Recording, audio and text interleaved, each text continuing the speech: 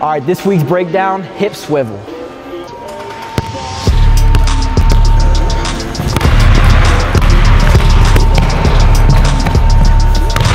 All right, let's break that down.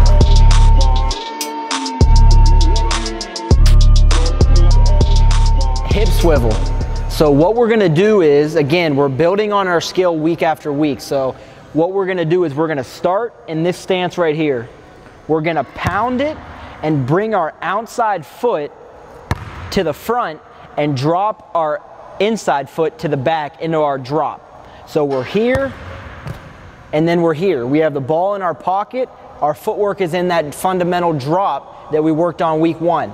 So when to do this, when to do this would be if you had a defender that was crowding you and you were turned and you wanted to attack, right? So you're in kind of a compromised position this way. You really can't attack and you, there's not much separation between you and the defender.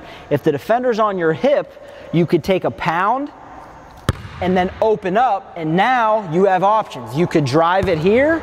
You could maybe bring your foot up and change directions because now you're opening your shoulders to the floor. I always tell players I hate when their backs turned like this because then they can't see the floor. If you're here, you could punch it and get to that drop. Now I see the floor. I could pass it, I could step in and shoot it, I could counter, I could drive it. Now you have options. Okay, so now looking at the left, be the same thing. Now your right foot would be in front. You're gonna punch it with your left Open up your hips, open up your shoulders, see the floor. So breaking it down, how are we gonna work on this without getting players overwhelmed? Start here without a basketball. Put your basketball down and all you're gonna do is jump and again, swing this foot, your right foot if you're going to the right, swing it in front and get in that drop position. Again, look at my feet. I'm not here, my stance is wide, my left foot's back, I see the floor.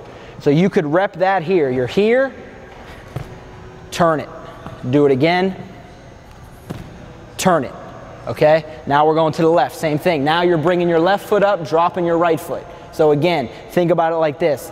Your inside foot, so closest to that basket, is swinging around. Okay? Ready? You're there. Come back. Again, no dribbles yet. Okay, when you're comfortable with that, add a dribble. So now we're gonna take one pound, then pick up the ball. Don't even worry about any attack moves. Just pick up the ball. Open up those, those hips. You're here, one more. Okay, now we're doing this. There, there. Give yourself options. Don't let the defense dictate what you're gonna do.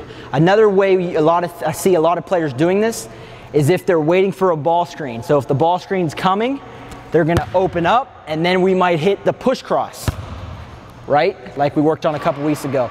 A little bit more challenging, details are everything. Add it to your game.